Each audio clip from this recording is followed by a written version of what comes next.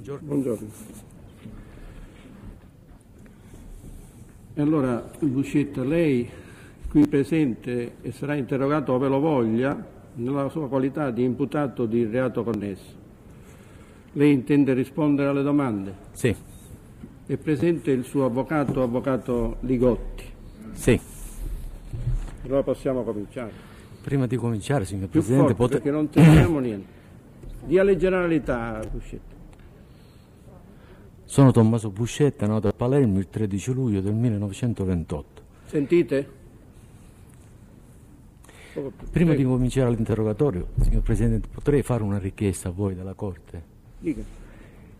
Vista la disavventura che mi è toccata quattro mesi fa, cinque mesi fa, crociera, fotografie, pubblicazione, io preferirei fare l'interrogatorio senza questo paravento. Se non ci sono osservazioni da parte del difensore dell'imputato e da parte del pubblico ministero e degli altri difensori, fermo restando il divieto di ripresa televisiva e di fotografie, il Tribunale acconsente alla richiesta del collaborante.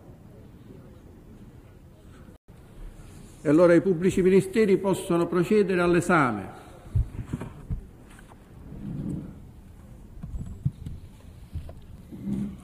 Signor Buscetta, lei ha fatto parte dell'organizzazione mafiosa denominata Cosa Nostra?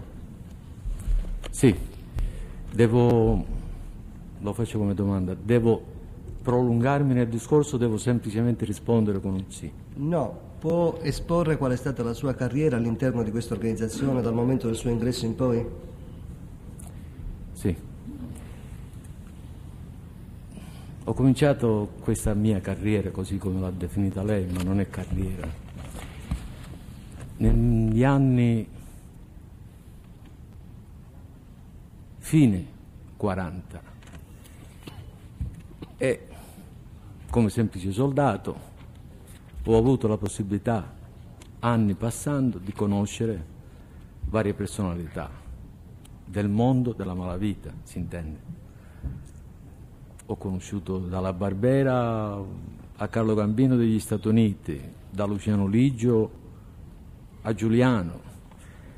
Ho conosciuto i fratelli della Barbera, ho conosciuto Gioacchino Pennino, ho conosciuto i più svariati personaggi della malavita organizzata in tutto l'arco della mia vita.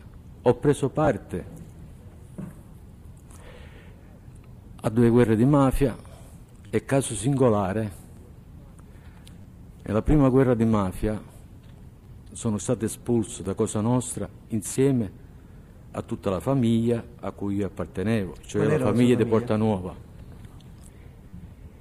Nella seconda guerra di mafia si parlò tanto attraverso la stampa che io ero un perdente. Però è caso strano che tutta la mia famiglia, Porta Nuova intendo dire, era vincente perché era alleata con i corleonesi. Quindi come veniva fatta questa sperequazione perdente e vincente è una cosa anomala. Ritornando alla prima guerra di mafia, in quale periodo si svolse questa guerra- prima guerra di mafia? La prima guerra di mafia si svolse dal dicembre 62 al- a giugno, luglio del 63. Può esporre molto sinteticamente quali furono le ragioni di questa prima guerra di mafia e il ruolo che ebbe la famiglia di Portanova? In quell'anno esattamente credo che intorno o al 24 o al 23 dicembre, non ricordo esattamente, o il 26 dicembre, fu ucciso un membro della commissione, di quella commissione. 62. 62, esatto, sì.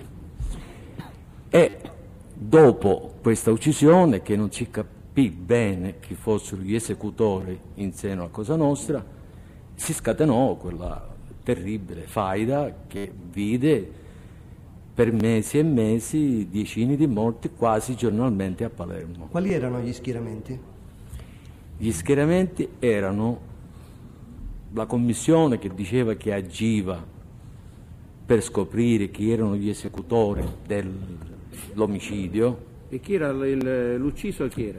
L'ucciso era Calcedonio di Pisa, Che era un componente della commissione? che era un componente della commissione e capo, eh, esatto, capomandamento. Eh, ho perso il filo. E quindi diceva che fu ucciso da Calcedonio di Pisa. Gli schieramenti. Gli schieramenti non c'erano schieramenti in quell'epoca perché si cercava di appurare, ma quello che si appurò non fu mai troppo perché chi è che tradiva stava dentro stesso la commissione, in quanto quella commissione che fu creata, dove io ebbe una parte, era stata creata nascendo con piccoli screzi, e cioè si voleva innovare questa nuova commissione mettendo in seno alla commissione dei soldati semplici e non dei capi famiglia. Accettarono tutti, meno quattro o cinque, non ricordo esattamente il numero adesso, mh, però potrei dirlo, Troia, Madranga, Motisi, Manno, Eh, Motisi l'ho detto, non mi ricordo più altri, 4 o 5 non aderirono e presero parte nella commissione come rappresentanti della famiglia e membri della commissione. Nella famiglia di Palermo si verificò anche un altro caso insolito. Il rappresentante Angelo La Barbera, alla Barbera aveva un fratello che si chiamava Salvatore, lui rimase rappresentante della famiglia di Palermo, il fratello Salvatore diventò membro della commissione e quindi capomandamento a cui la famiglia mia, cioè, fra virgolette, Portanuova, apparteneva, essendo un mandamento fatto di tre famiglie, Palermo Centro, Borgo e Portanuova. E il capomandamento era esattamente Salvatore La Barbera. E, mh, come e perché fu costituita la commissione? La commissione fu istituita perché prima che si costituisse la commissione il capofamiglia eh, di ogni borgata, di ogni rione, aveva la patria potestà di poter decidere su ogni membro della sua famiglia e a suo piacimento dare delle sentenze, anche sentenze gravissime come la morte, nei suoi adepti. Quindi eh, nel 1957, se non vado errato, venne in Sicilia e a Palermo un membro della commissione americana, sempre di Cosa Nostra, che ci consigliò di costituire anche noi una commissione come loro l'avevano costituito negli Stati Uniti dopo le tremende guerre di mafia che avevano avuto eh, nel passato in quella terra. E lei partecipò alla fase diciamo, di istituzione di questo nuovo organismo, la commissione? Io credo che l'abbia detto prima, sì. So- ho partecipato e ho partecipato insieme a Badalamente, Gaetano Badalamente eh, e Salvatore Greco, inteso Cicchitelli. Vuole descrivere sinteticamente quali discussioni vi furono in ordine alle modalità di costituzione di questo organo?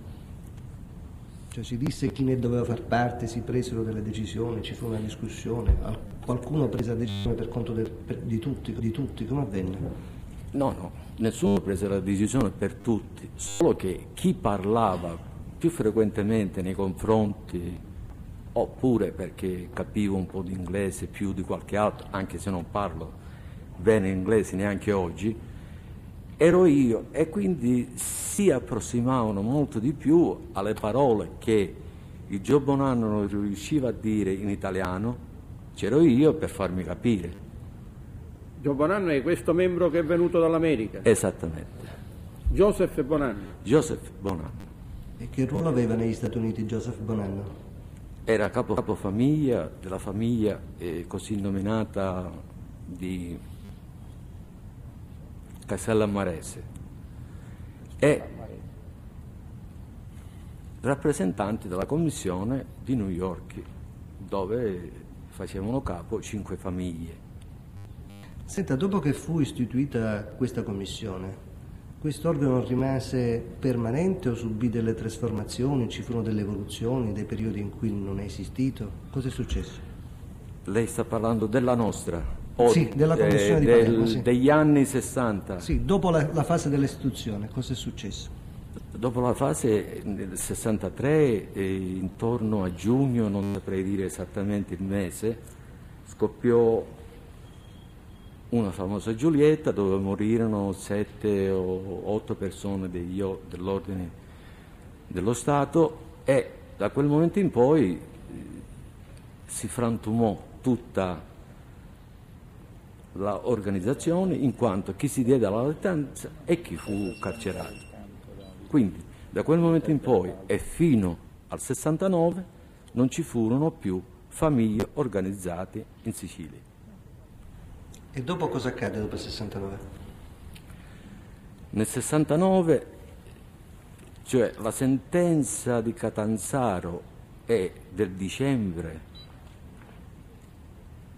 del 69 e l'anno dopo si costituisce un triumvirato per normalizzare nuovamente la famiglia della provincia di- le famiglie della provincia di Palermo, costituito da Bontadi, Badalamente e Luciano Ligio, Bontate Stefano? Bontà di Stefano, Gaetano Badalamente e Ligio Luciano, che era spessissimo, se non dire quasi sempre, sostituito da Salvatore Rina.